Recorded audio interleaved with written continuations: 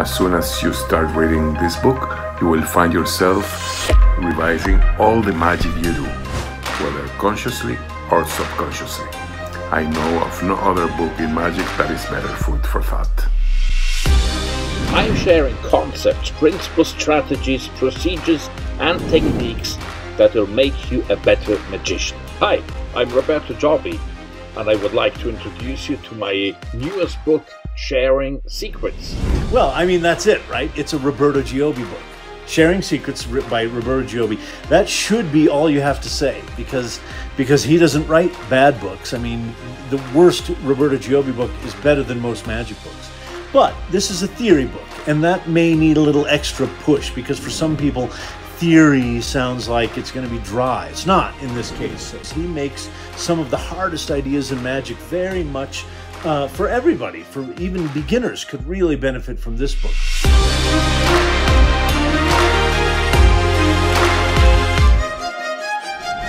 In this book, Giobbi lists and describes and gives the history of several of the more established and even a few obscure theoretical concepts that magicians employ to create their wonders.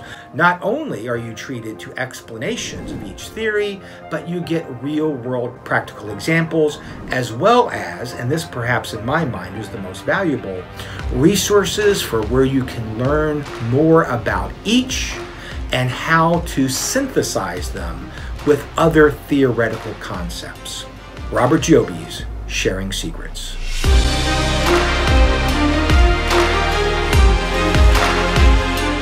There are exactly 52 concepts, principles, and the way to instill them into your work is very easy. You take one concept each week and you take a trick of yours you already do very well, and then you try to apply this concept to that trick, and it will make it a better trick.